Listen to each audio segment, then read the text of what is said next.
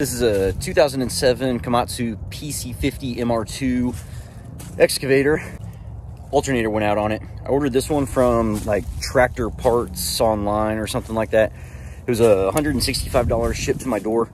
The Komatsu dealer wanted $800 uh, for a Yanmar uh, factory replacement, and that one would have been reconditioned. This one is brand new, aftermarket, same amperage, same everything. So we're gonna go ahead and get this guy put on.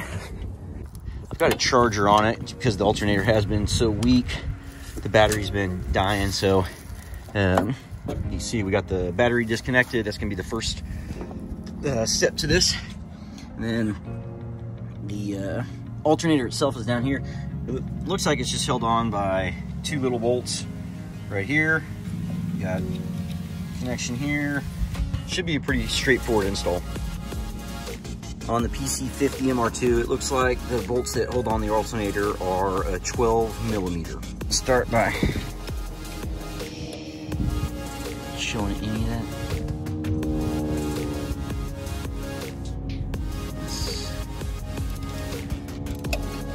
Well, you don't need to see me unbolt it, but you're gonna go ahead and unbolt the top and bottom bolts. Come on, dude, there you go top and bottom bolts, remove the electrical connections. There's a plug on the back as well as uh, you got this guy right here plus the plug. Uh, pretty straightforward. You're gonna loosen up this top nut right here and then that allows you to be able to move this alternator back and forth to get the belt off of it. Uh, so just make sure that you don't let the belt uh, get taken off of everything. Uh, just get it taken off of the alternator so that it's easy to put back together. Here is the top 12 millimeter bolt, a couple of washers. The bottom bolt is different. It is a 14 millimeter. So your top one is a 12 and your bottom bolt is a 14.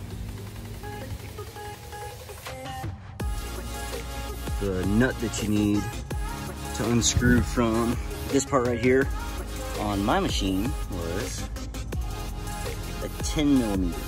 So that bottom nut right there, it's pretty cute because the Komatsu decided to put a nut on the back, but there wasn't a nut on the top one. It's also a 14 millimeter, so the bottom bolt needs a 14 millimeter on both sides of the bolt, and the top one just needs the 12 millimeter. And here is the bottom bolt, the 14 millimeter with the nut 10 millimeter that goes on the electrical, and then the 12 millimeter that goes on the top. Here they are side by side. The clip on the back of this thing, what I ended up doing was I just grabbed it with some pliers on this side and this side. So, you know, here, not here. Uh, just picked it up with some, they were actually channel locks and just kind of jiggled it like that a little bit and that got it to come off. There are no like screwdrivers that you got to pull to undo the tab or anything like that. It's just jiggle, jiggle, jiggle. So now we'll do the opposite steps to get the new one back in and we're good to go.